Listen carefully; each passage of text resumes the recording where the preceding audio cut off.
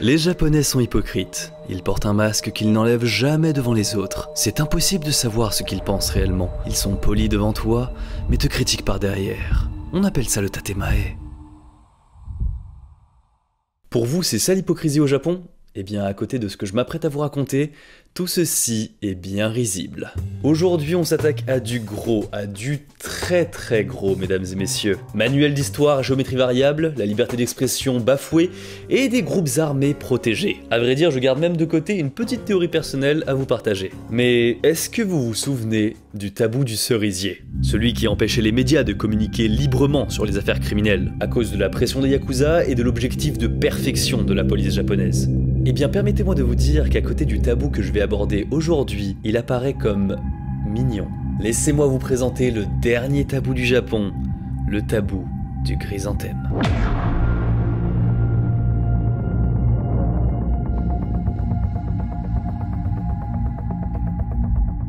Avant de m'élancer dans l'incident qui est à l'origine de ce tabou, je voudrais vous présenter mon livre, Jiken. Il vient tout juste de sortir et voilà, c'est un recueil de 10 histoires d'horreur qui se sont déroulées au Japon, comme par exemple le cannibale Issei Sagawa ou encore la secte Aum. Et surtout dans ce livre, toutes les histoires sont illustrées par Nogi-san, une artiste que j'apprécie particulièrement. C'est totalement dans le même style que cette série de vidéos sur les tabous, donc je vous invite vivement à vous le procurer dans la librairie la plus proche de chez vous ou avec le lien dans la description. Si ça vous intéresse également, il y a une box qui existe avec différents produits comme un marque-page, un dessous de verre et surtout un hoodie, et c'est aussi avec un lien dans la description. Vraiment, c'est un aboutissement de le voir prendre forme comme ça et je suis très très fier de ce bel objet. J'espère qu'il vous plaira autant qu'à moi, et maintenant, installez-vous bien, c'est parti. Incident de Shimanaka. Nous sommes le 1er février 1961 dans le quartier de Shinjuku à Tokyo. Il est 21h15 et la nuit est bien tombée. Bien que dans un quartier central de la capitale, la résidence principale de monsieur Shimanaka est à l'abri de l'agitation tokyoïte. Dans la maison, deux gouvernantes travaillent encore. Cela fait bien déjà plusieurs années qu'elles travaillent pour la famille Shimanaka. Elles s'occupent du ménage, de la lessive et même parfois de l'éducation des enfants. Après avoir terminé le nettoyage dans la cuisine, elles se dirigent toutes les deux vers le salon. Elles ouvrent la porte, mécaniquement, et rentrent dans la pièce. C'est alors qu'elles aperçoivent au beau milieu du salon un homme. Un homme à l'apparence délabrée, le regard noir et avec à la main un énorme couteau. Par où est-il rentré Que veut-il? Pourquoi vise-t-il cette demeure? Toutes ces questions fusent dans la tête des deux femmes. Pourtant, la terreur les paralyse des pieds à la tête. Et sous le choc, les deux femmes ne parviennent même pas à émettre le moindre cri. C'est le jeune homme qui va rompre le silence. Konbanwa. Shimanaka-san, imasu ka? Pour comprendre comment nous en sommes arrivés là, il faut remonter trois mois en arrière. Novembre 1960, dans une imprimerie à Tokyo, les machines tournent à plein régime. C'est pour le magazine mensuel Tuo Colon, et ça fait déjà 73 ans qu'il est publié, donc autant vous dire que ce n'est plus un débutant. Son contenu, bien que religieux au départ, s'est progressivement orienté vers des nouvelles littéraires et de la critique. Et de la critique, Hoji Shimanaka, le président du magazine Tuo Colon, eh bien il est prêt à en recevoir. Car pour l'édition du mois de décembre, il a décidé de publier une nouvelle de monsieur Fukasawa. Fukasawa est un auteur connu pour avoir des propos difficiles et controversés dans la sphère littéraire et politique. Mais il semblerait que cette fois-ci, pour cette nouvelle, il se soit surpassé. Le titre de cette nouvelle, Furieux Mutin, l'histoire d'un rêve élégant. Parce que cette dernière, lorsqu'elle a été soumise à validation par l'équipe de rédaction, eh bien elle a été qualifiée de inhumaine, de physiologiquement inacceptable. Et pour cette raison, elle a été reculée, retardée, repoussée de maintes fois. Mais l'édition de décembre 1960, c'est enfin la bonne. Pour rappel, au Japon, les magazines mensuels sortent avec un mois d'avance, ainsi le numéro de décembre sort courant novembre. Et à sa sortie, les réactions à l'égard de la nouvelle Furieux Mutin ne se font pas attendre. Un des piliers de l'information, le journal Asahi Shimbun, qualifie la nouvelle d'anti-humaine. Sans compter bien sûr la droite impérialiste qui est profondément choquée par les propos de cette fiction. Mais, mais, mais, les critiques vont également dans les deux sens. D'autres écrivains et critiques littéraires soutiennent l'œuvre et défendent les propos de l'auteur. Pourtant, l'éditeur sent bien que la situation autour de cette œuvre-là se tend. La sphère politique n'est clairement pas insensible aux propos de cette fiction, et le moins qu'on puisse dire, c'est que c'est le calme avant la tempête. 28 novembre 1960. Cela fait à peine plus de deux semaines que le magazine a été publié, mais ce matin-là, la tension va monter d'un cran. Deux camions s'arrêtent brutalement devant le siège du magazine Tuo au Colon. Huit hommes en sortent, ils prennent d'assaut les lieux et rentrent dans le bâtiment. L'hôtesse d'accueil, prise au dépourvu, essaye de bloquer ces messieurs, mais ils forcent le passage en l'ignorant. Cette dernière n'ose pas plus interférer et elle regarde en direction de l'entrée là où les camions sont garés. Et c'est là qu'elle comprend instantanément pourquoi ces hommes sont là. Les camions sont ceux du parti politique Dai Nippon, un parti d'extrême droite, qui existe d'ailleurs encore aujourd'hui. Effectivement, les hommes ne sont pas cagoulés, bien au contraire, ils exhibent fièrement leur couleur. Les hommes crient dans les couloirs de l'entreprise, ils exigent un responsable. Un responsable pour la publication de Feu-Lieu Metin. Les hommes marchent vite, bousculent les journalistes, font du bruit, mais ils font attention à ne pas détériorer le matériel. Ils ouvrent les portes une à une, tout le personnel est consterné par ce qu'il se passe, mais... Ça y est, ils ont enfin trouvé ce qu'ils cherchaient. Les huit perturbateurs rentrent dans le bureau de Monsieur Shimanaka, le président du magazine. Ses mains s'agrippent fermement aux accoudoirs de son siège, comme si sa vie en dépendait. Les hommes crient dans le bureau, demandent des explications et surtout des excuses. Il se rapproche peu à peu du président quand la police vient d'arriver. C'est grâce à l'hôtesse, c'est elle qui les a appelés. Et en entendant les sirènes de police, brusquement, les agresseurs vont changer de comportement. Ils sortent du bureau et du bâtiment sans même que la police n'ait à demander quoi que ce soit. Tout simplement, ils n'opposent aucune résistance et cette technique, la police la connaît bien. Leur but, c'est de faire peur, mais de ne pas tomber dans les pièges juridiques. Aucune détérioration matérielle, aucun blessé, juste de l'intimidation. La police les arrête tout de même, mais elle sait que c'est par pure forme. Absolument aucune poursuite ne pourra être retenue à leur égard. Le président du magazine, Monsieur Shimanaka, bien que soulagé que les extrémistes soient partis, comprend qu'il a fait une grossière erreur en publiant l'œuvre de Fukasawa.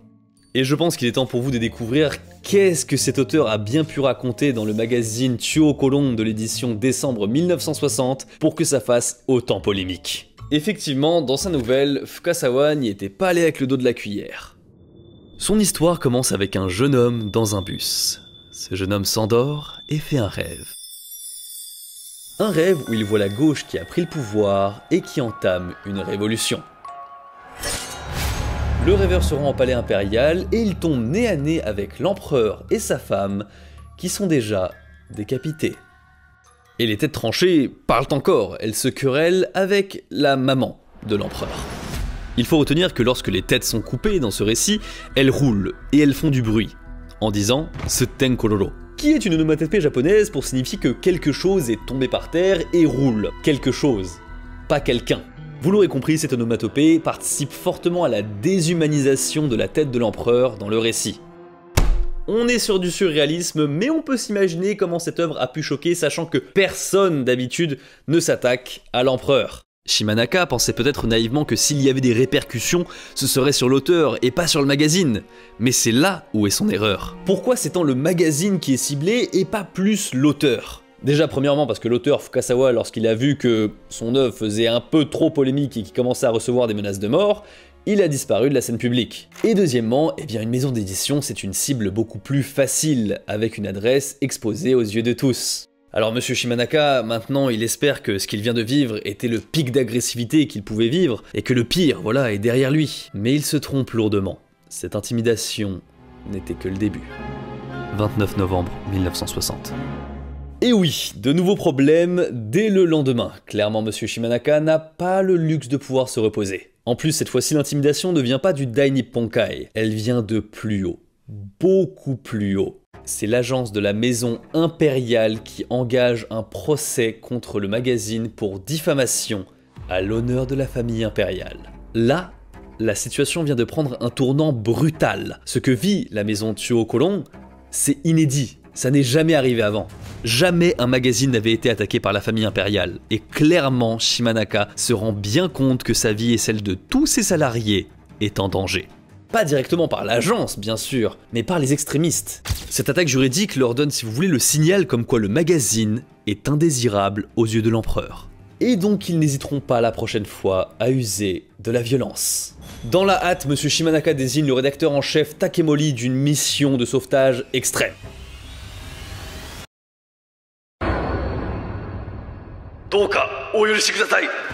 Le rédacteur en chef Takemori est au sol en position d'Ogeza. Il implore le pardon de l'agence de la maison impériale. Non seulement pour avoir entaché l'honneur de la famille impériale, mais aussi pour l'attaque d'hier, car il se sent responsable que des extrémistes se soient attaqués à son établissement. L'agence de la maison impériale, elle est clémente. Elle passe l'éponge pour cette fois et annule le procès. Lorsque l'éditeur en chef ramène la nouvelle, c'est un soulagement infini pour toute l'équipe de rédaction et surtout pour Monsieur Shimanaka. L'ambiance est presque à la fête, le pire a été évité. C'est en tout cas ce que se dit encore une fois Monsieur Shimanaka. Sauf que, encore une fois, vous le savez, il se trompe. Décembre 1960. C'est la troisième fois depuis le début du mois, et ça a beau ne plus être la première, aucun employé ne s'y fait réellement. Le siège est toujours dans le collimateur des groupes d'extrême droite. Mais la différence maintenant, eh bien, c'est qu'il casse. La haine envers le magazine ne s'arrête pas, ces groupes collent des affiches dans la ville, diffusent en masse des tracts et ils vont même jusqu'à en disperser depuis des avions. Monsieur Shimanaka et sa rédaction, ils sont complètement dépassés par les événements.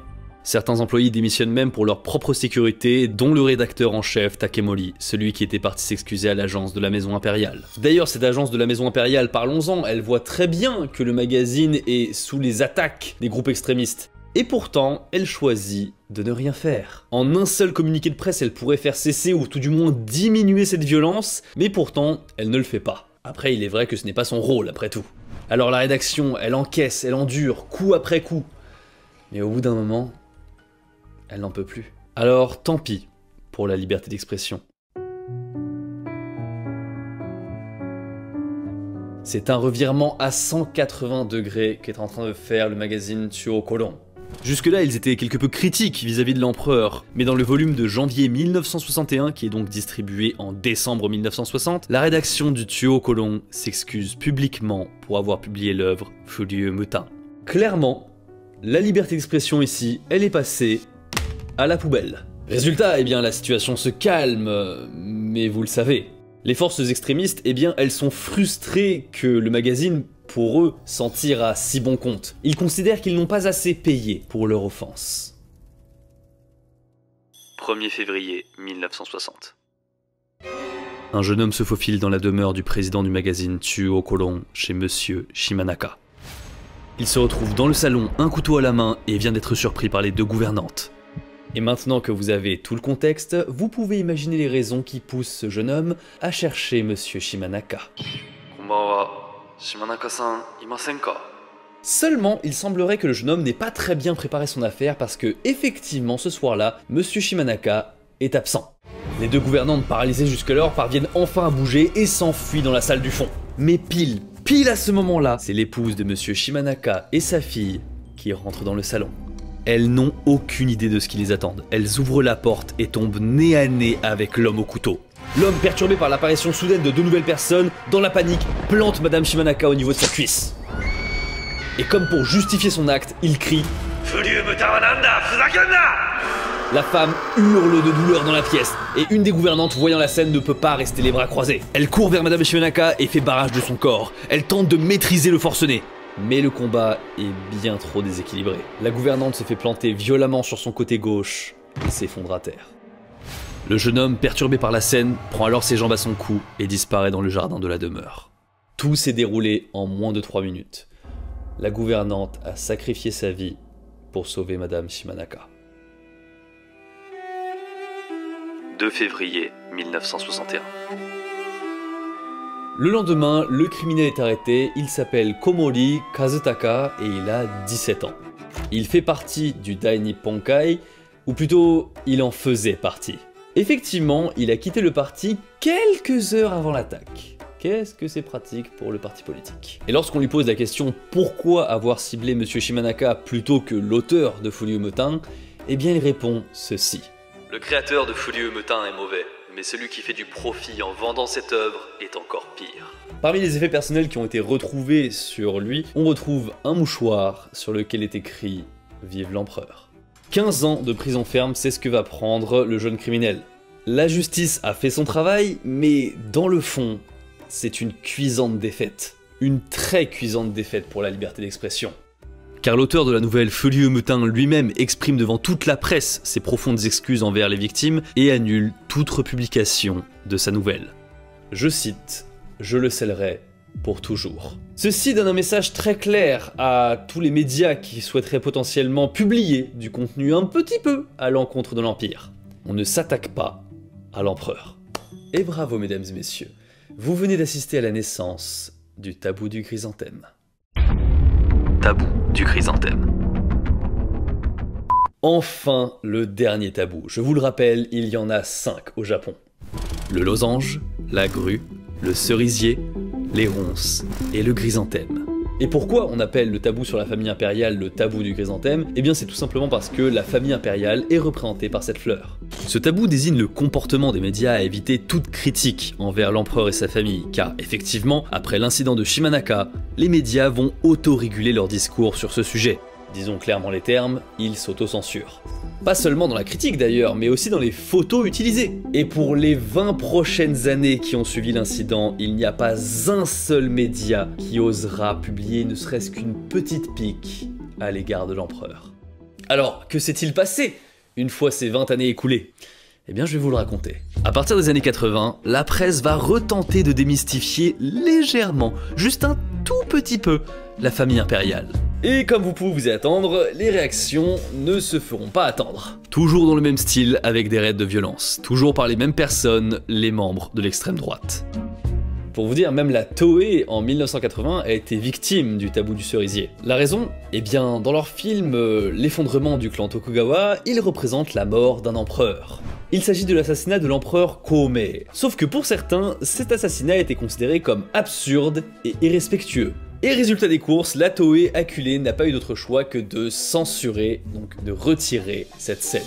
Ils ont encore une fois donné raison à la censure et à la violence. Alors vraiment, faut que vous compreniez que la liberté d'expression, mais là même pour relater des faits historiques qui se sont réellement passés, c'est poubelle. Parce que oui, au cas où vous l'avez pas compris, mais l'empereur Koomei, il est réellement mort, il a été réellement assassiné. Ces partis d'extrême droite, ils sont tellement bien implantés qu'ils n'hésitent pas à envoyer des lettres d'intimidation à la moindre accartade contre la famille impériale. Les critères aussi pour envoyer ce genre de lettres ou pour faire des raids sont de plus en plus légers.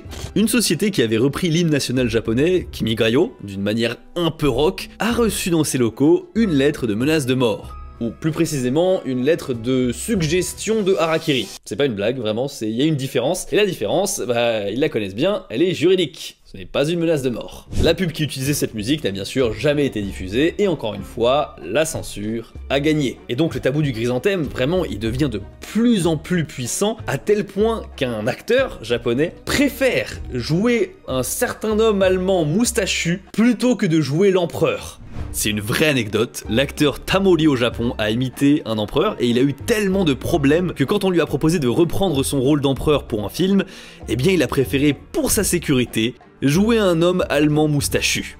Je trouve que c'est très très fort comme symbole. Et je peux comprendre que pour vous ça peut vous sembler exagéré, disproportionné, mais il faut se rendre compte que l'incident de Shimanaka, il est encore dans la tête de tout le monde.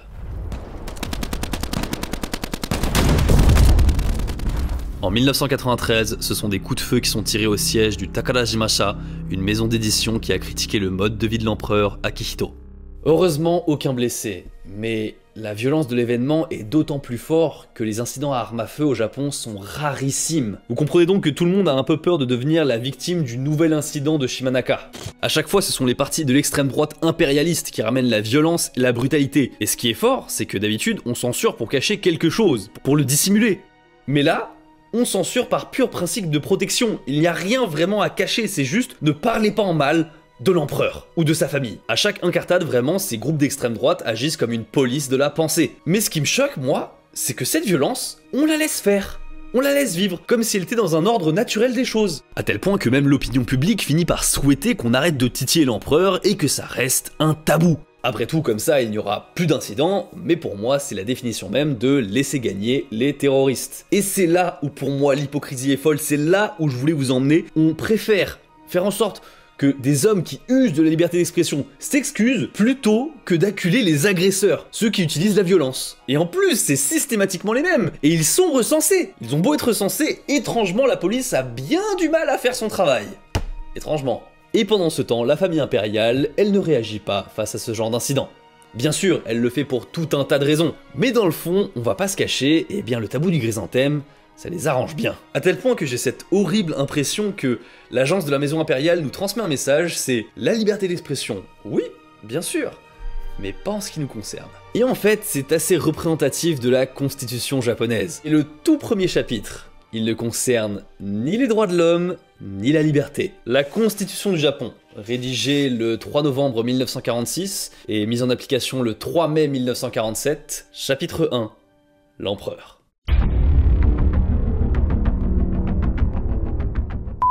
Tout commence en moins 660 avant Jésus-Christ à la création du Japon.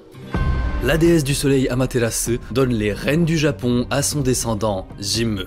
Et oui, ce qui est assez surprenant, c'est que l'origine de la famille la plus puissante du Japon, eh bien elle se trouve dans le folklore. Oui, parce qu'effectivement, le Japon ne s'est pas créé en moins 660. Si bien que le premier empereur dont on a la preuve de l'existence, eh bien il s'agit de Ojin, et c'est déjà le 15e empereur de sa lignée.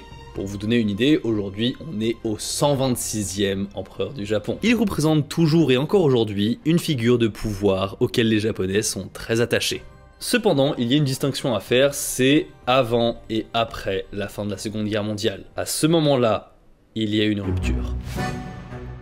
Lors de la défaite, les Américains, ils souhaitent tous une chose, c'est la tête de Hirohito et les hauts gradés de l'armée impériale nippone, ils vont tout faire pour éviter ça. C'est pour ça qu'en l'échange de la vie de l'empereur, la plupart des hauts gradés militaires japonais seront exécutés par les Américains. Depuis, en fait, ça ressemble beaucoup à la famille royale britannique avec son lot de responsabilités et aussi son lot de drama. Ils ont une pression monstrueuse avec un code de conduite fixé au millimètre. Tout est tellement codifié que l'ancien empereur Akihito, pour céder sa place à son fils, il n'a même pas eu le droit de prononcer le mot abdication car ça lui est interdit par une loi impériale. Par contre, euh, il faut noter quelque chose, c'est que la popularité de l'empereur, bah, elle est très bonne. L'ancien empereur Akihito, vraiment, il luttait pour la paix, et il faisait en sorte de faire le moins de vagues possible contrairement à un ancien premier ministre japonais. Ce qui fait qu'aujourd'hui, eh bien, tout le monde aime l'actuel ou le précédent empereur. En fait, on n'a juste aucune raison de ne pas les aimer, ces bons messieurs. Mais alors, puisque l'opinion publique est aussi positive envers l'empereur, où est le besoin de censurer? Où est le besoin de ce tabou? Je veux dire, il a même pour effet inverse d'entacher un petit peu la réputation de l'empereur, en faisant croire qu'il y a potentiellement des choses à cacher, des secrets, des non-dits. Donc finalement, pour comprendre le tabou du chrysanthème, ce n'est pas tellement vers l'empereur qu'il faut se tourner, mais plutôt vers les personnes qui protègent ce tabou. Certes, il s'agit de l'extrême droite, mais c'est une partie bien précise. Un groupe bien organisé, qui frôle avec l'illégalité, et que la police a bien du mal à capturer. Ça me rappelle quelque chose. Extrême droite. Si vous êtes venu au Japon avant le début des années 2010 et que vous vous êtes retrouvé en face à face avec un camion noir avec dessus des écritures blanches et surtout avec d'énormes haut-parleurs sur le toit, il se peut, il est très probable même, que vous ayez croisé un Uyokudantai. Ce sont des groupes extrémistes de droite et pour eux, le Japon a trop perdu après la Seconde Guerre mondiale et elle doit se relever plus forte comme elle l'était avant. Et donc ça consiste aussi à retrouver cette figure impériale qui était au centre de tout. Ainsi, aucune critique ne doit être tolérée envers elle, et c'est pour ça qu'ils ont créé le tabou du chrysanthème. Mais avec quelle force ils ont réussi à mettre ça en place, et surtout comment ils ont fait pour ne pas se faire arrêter immédiatement par la police japonaise? Eh bien, je pense que vous l'avez compris, mais l'extrême droite japonaise est très, très, très proche des Yakuza.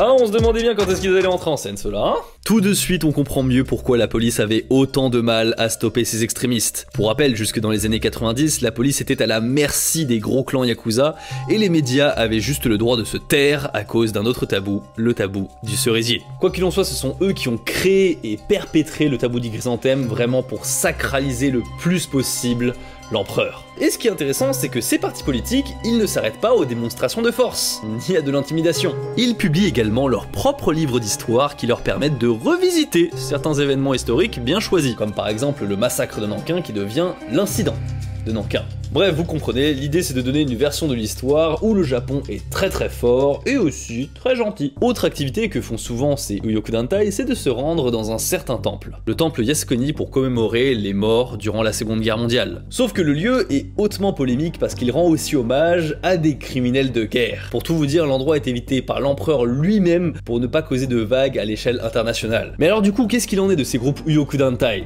Qu'est-ce qu'ils deviennent? Eh bien la réponse c'est un peu comme les Yakuza c'est-à-dire pas grand-chose. Ces hommes ont vieilli et ils n'ont pas trouvé de nouvelles recrues. Et par conséquent, vu que ces hommes-là disparaissent, eh bien le tabou du chrysanthème lui aussi s'effrite. N'est pas encore au point de pouvoir republier Folieux et dans un magazine, mais quand même, on voit quelques actions qui sont menées. Mais en réalité, certains artistes, certains médias, n'ont pas attendu que le tabou du chrysanthème s'effrite pour raconter ou dénoncer certaines choses. On va pouvoir enfin ouvrir ce dernier document que j'ai gardé de côté.